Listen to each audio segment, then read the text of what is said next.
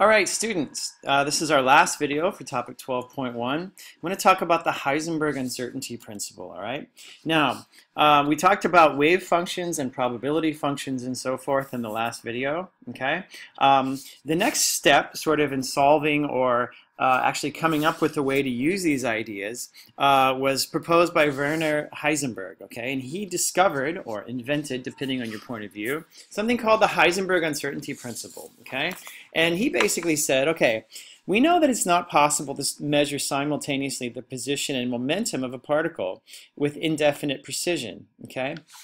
Um, and he figured out a way to actually relate the two. He said that the uncertainty delta x in position and the uncertainty delta p and momentum are actually related by this expression right here. Delta x delta p is greater than or equal to h over 4 pi, h being Planck's constant. Note that if either delta x or delta p is 0, the other must be infinite because to solve for it, you'd have to divide both sides by the other thing, all right? So that doesn't work, all right? Um, this also applies to energy and time, such that delta E and delta T is greater than or equal to h over 4 pi. Both of these equations are given to you in your data booklet, okay? Now, why is this? Don't worry about why this is because it's a fundamental property of nature and nobody has ever figured out why this is. It just is, okay? Now, this means, of course, uh, this is related to, obviously, the fact that particles sometimes behave like waves, sometimes like particles, okay? So we can't divide them or classify them exclusively as either particles or waves, which we've talked about, um, we've talked about a lot in our class, okay? So for example, as I said before, making momentum as accurate as possible makes position inaccurate and vice versa, okay? All right, now to understand why this is, I'm going to do a very, very simple derivation, a very qualitative derivation that's not mathematically rigorous, but will give you an idea of where this, where Heisenberg's uncertainty principle comes from.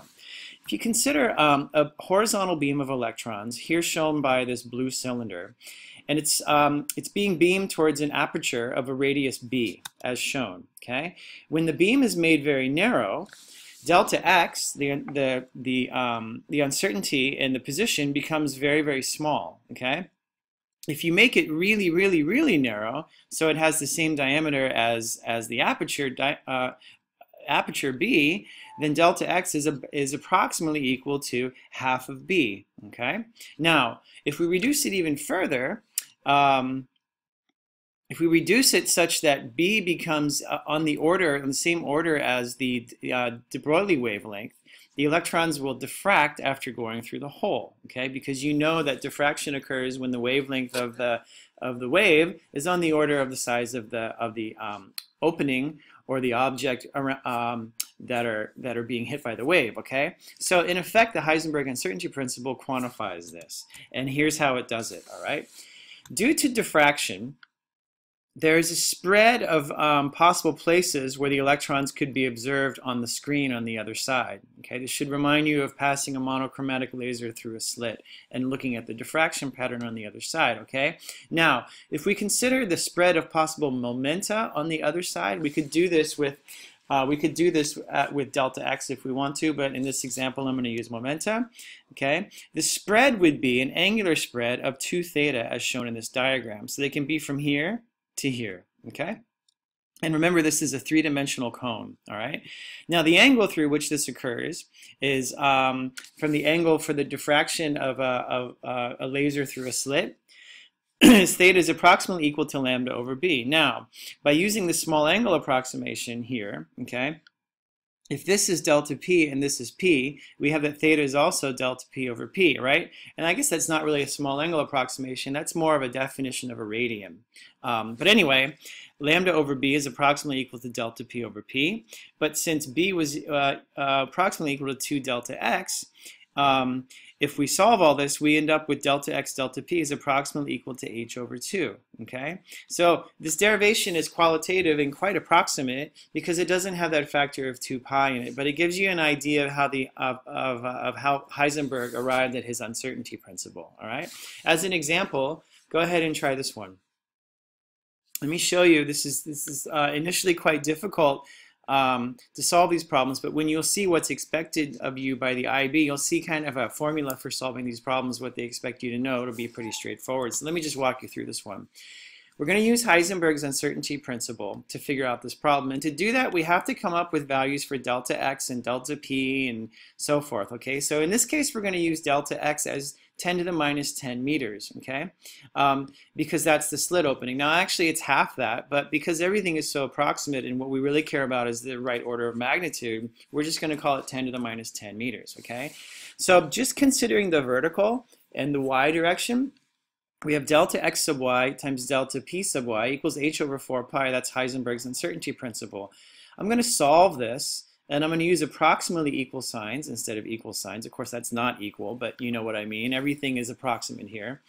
Delta p sub y equals h over 4 pi delta x sub y. And then I put in my values, and I get that the change in momentum uh, the uncertainty in momentum in the vertical is 5 times 10 to the minus 25 newton seconds. Now the momentum of the electrons, I just use our linear momentum equation we learned a long time ago. P equals mv, I get 9 times 10 to the minus 25. The electrons are deviated through an angle, therefore, according to the same diagram on the previous slide, of delta p sub y over p, which is a half a radian. Now, because they're asking where sort of how they fan out and the length over which they'll be observed, uh, we have to we have to convert uh, radians to a length, all right? And to do this, remember the definition of a radian, okay? Um, here's the arc length. So really 2 theta is, this is that arc length 2s, 2 theta. So um, if you solve this for, for s, you get that that's about 1 meter. This is what is expected of you in the IB. You don't need to do any more difficult um, quantification of this, I guess, uh, any any any more than this, because everything is so approximate. Really, this topic is more qualitative, and the math is really not that hard.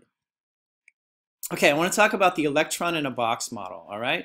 Now, if you think about an electron that's confined to a region of size L, okay, in fact, it can only move along a line L. Okay, uh, it's uh, the uncertainty in its position is going to be L over 2.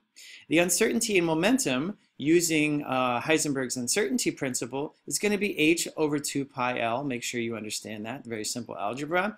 The kinetic energy of this electron is going to be, as usual, p squared over 2m. All right. Um, but that's really delta p squared over 2m, okay? And putting in my values, I get h squared over 8 pi squared ml squared, okay?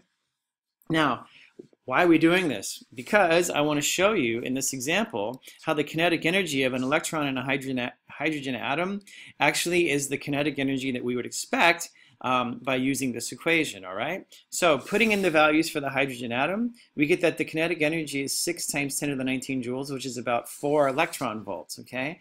And notice that in this particular case, we assume the electron is confined to a space 10 to the minus 10 meters, as we always do with an atom, because that's about the, atom the distance um, the length of the, of the diameter of um, any atom, we use, we use that value, okay? So the electron in a box model, what it really is, is it's a hypothetical description of an electron free to move in a small space surrounded by an impenetrable barrier. So really it's an illustration, it's a way of showing the difference between classical and quantum systems. I want to talk just a little bit more about that before I move on and wrap up this video. So in the classical case, if you think about a ball trapped inside of a box that can move back and forth, obviously the ball can move at any speed within the box, and it's no more likely to be found at one position than another. In the quantum case, okay, when the box becomes very small, the particle, in this case an electron, it's much more likely to be found at certain positions than others, and that depends on its energy level. And in fact, there are certain places where it can never be detected, and these are called spatial nodes. Now, as a uh, to sort of show you pictorially, these are ideas of spatial nodes. Don't worry so much about these uh, about what the blue lines mean and the red lines, but notice that they are again standing waves, standing probability waves, right? And there are places um, along this length of L, this is the classical case, there are places where the particle would never be detected because of that standing probability wave. Pretty crazy stuff, all right? Now the particle in a box model, to sum up, it's one of the very few problems in quantum mechanics that can actually be solved analytically precisely without using approximations, all right? And in your homework study packet, you'll see different examples of um, sort of how you need to work with the electron in a box model. Uh, mathematically, it's not super difficult, okay? And here's an example um, of how you would use um, the other version, I guess, E delta T of the Heisenberg uncertainty principle. We'll Give this one a try. Sorry, the um, example numbers are kind of messed up here in this video, but you get the idea, okay? So I have a decay, all right? The uncertainty in the energy release is 153 mega electron, uh, milli electron volts, sorry. Calculate the expected lifetime of the rho naught meson, meson and, I, and hence identify the interaction through which the decay takes place, okay? So Using Heisenberg's uncertainty principle, version 2, E delta t is approximately equal to h over 4 pi. I solve for delta t, all right? But delta E is, uh, and you know what? This actually should be mega, sorry, instead of milli. That should be mega electron volts. I don't know what's up with that capitalization. Anyway, um, so let's see. I'm converting 153 mega electron volts to joules, and then I basically solve for T, pretty straightforward. And remember, everything's approximate here. Like a t is on the order of uh, 10 to the minus 24 seconds. So remember from our studies in topic 7, really short lifetimes of particles usually indicate strong nuclear interactions. That This is the depth which, with which you, uh, you need to be able to treat this um, topic, okay? Last topic, this is super cool. This idea of quantum tunneling. Okay, this is a phenomenon where a particle tunnels through a barrier that classically it couldn't surmount. I'm going to start with a classical example for you, which is from your uh, from your textbook. All right. Let's say you have a hill and you have a ball rolling towards the hill. Okay. If the kinetic energy of the ball is even excluding friction, if the kinetic energy of the ball is less than the gravitational potential energy the ball would have at the top relative to the bottom, obviously there's no way, there's zero probability the ball would reach the other side and end up over here. Correct? Well, in quantum mechanics, there is a way, there would be a way for the ball to actually get on the other side, and it has to do with the probability that it may actually get there. The hill, you can consider it to be a potential, a gravitational potential barrier.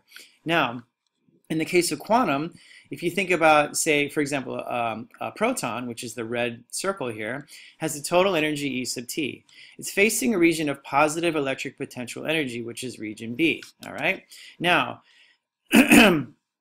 if the energy of the proton is less than Q sub E times V, all right, where VE, where VE is the electric potential in B, then there's absolutely no way the proton could get through B and um, end up in region C, right? So you can think of region C as a forbidden region, and region B would be the potential, the electric potential barrier in this case, all right? Now, turns out that with on quantum scales, there is a probability that the proton could make it to region C. And the reason is because the proton in each region has its own wave function. Remember I talked about wave functions. A particle could have different wave functions depending on what state it's in or where it is, all right? So the proton would have a different wave function in each in each region A, B, and C. Okay, and those wave functions have to join smoothly. They're they are continuous waves. Uh, they are continuous functions. These probability functions. So clearly you can see from the diagram, there's a non-zero wave function in region C in order for it to be continuous with what it's doing in B. In fact, in region B, it's an exponential, uh, the probability is an exponential decay. In region A, you can see it's an oscillating probability, but in region C, it's small, but it's not non-zero, okay? So in effect, the wave function leaks into region C. And if there's a non-zero probability wave function in a region, it means that there is, no matter however small, there's a possibility that that proton could end up in that region. In this case, we say that the transmitted protons have tunneled through to region C. And there are a couple of factors affecting the probability of whether this would happen or not, um, which you just need to know qualitatively. The mass of the proton, the width of the barrier, and the difference in energy between the proton and the barrier, okay? So the larger each of these quantities is, the less likely the proton will tunnel into region C. And that wraps up quantum mechanics and tunneling.